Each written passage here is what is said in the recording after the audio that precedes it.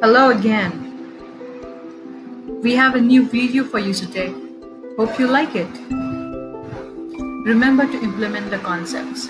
If you don't implement the concepts, you wouldn't really know what is really going to work for your business.